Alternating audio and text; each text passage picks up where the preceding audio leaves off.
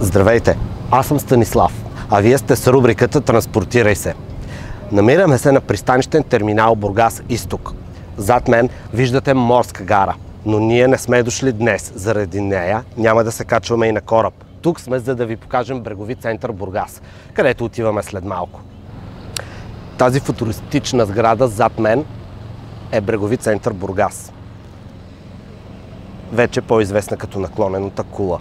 Тя съчетава в себе си изключително сложни функции, необходими за корабоплаването в българския участък на Черно море. Сега обаче ще влезем вътре и ще ви запознаем с Националния център за електронен документооборот, за който ще ни разкаже старши оператор Евгений Мавродиев. Той ни чака вътре, така че да влизаме. Разкажи ни къде се намираме в момента. В момента се намираме в Националния център за документооборот на морския транспорт към Държавно предприятие пристанищна инфраструктура.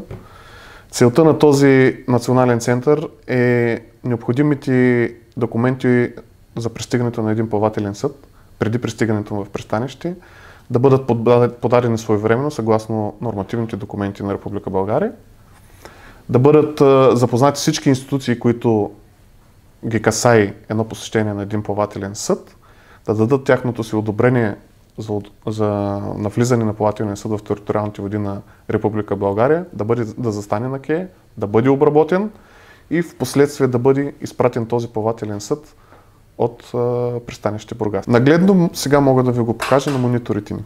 Супер! Тук що получихме телефонно обаждане от корабния агент на White Group на моторен кораб Delta Sea, който иска да напусне пристанище Бургас. Този спалателен съд се намира, проверяваме през системата на VTMS, този спалателен съд се намира на пристанище Росенец. Това, това е трето корабно място на пристанище Росенец. проверяваме всичките изискуеми документи за дадения кораб, които са, изискват по наредбата за граничен контрол, а именно дали дадения плавателен съд има попълнил нагледно екипажен списък. Наблюдаваме, че екипажен списък е нагледно попълнен от 19 човека с екипаж от Индия, Гърция и Грузия. Същевременно този плавателен съд е предал необходимите си отпадъци, които са изискуеми от наредбата за, а, на Марпол за предаване на корабни отпадъци на плавателните съдове. Този кораб е с банкова гаранция към Държавно предприятие пристанищна инфраструктура, което означава, че не е наложително да се прикачва платежен документ за извършване, за извършване плащане за в момента към Държавното предприятие. и в момента просто нагледно показвам как на този плавателен съд му се издава свидетелство за отплаване, което му е необходимо за и изискуемо от следващото пристанище то е изискуемо съгласно международните изисквания и дава ясна представа този плавателен съд от къде пристига.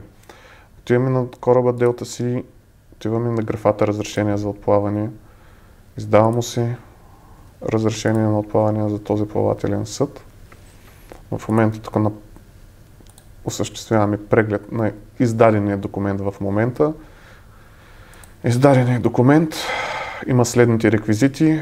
Номер на сертификата, който е, а, а, унифициран номер. Няма как да стане договаш на този номер. Дата и час на издаване на този сертификат.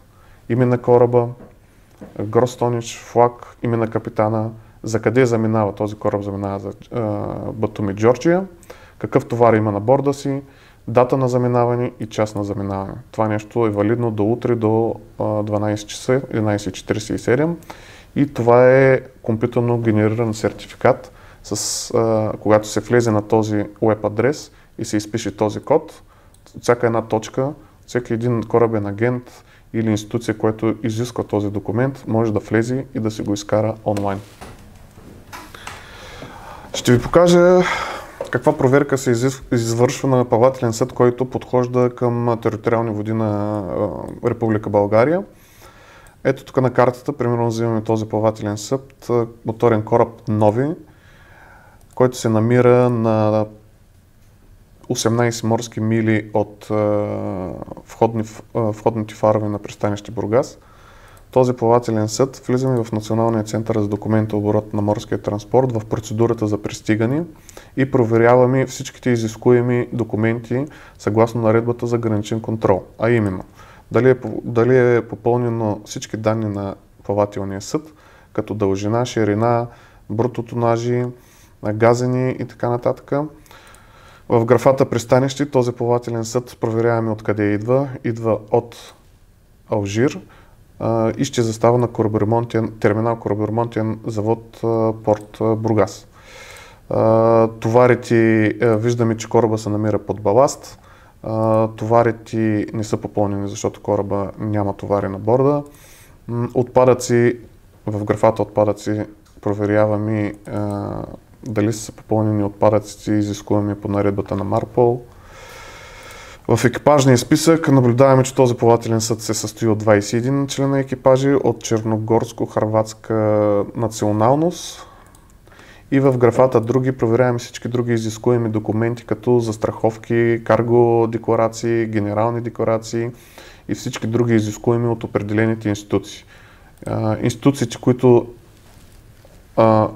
проявяват интерес към този плавателен съд и трябва да дадат тяхното си становище, са тук изборени в графата решения и всяка една институция може да даде своето си одобрение, отказ или за одобрение и да запише необходимите си забележки. За, за Наблюдаваме, че за този плавателен съд гранична полиция Бургас е единствена не е одобрила този плавателен съд, поради факта, че корабът не е пристигнал, не е застанал на корабния кей и не му е извършена входяща гранична проверка.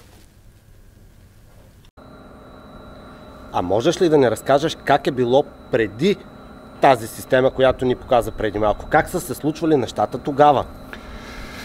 Преди да стартираме системата през 2015 година, общо взето корабните агенти преди пристигане на дателен плавателен съд се налагаше да ни предоставят необходимите документи на хартиен носител, след като дойде плавателния съд да вземе допълнителни документи, пак да дойде при нас, да ни предостави документите, ние да обработим документите, за да, да, да, за да можем да ги предоставим на необходимите институции.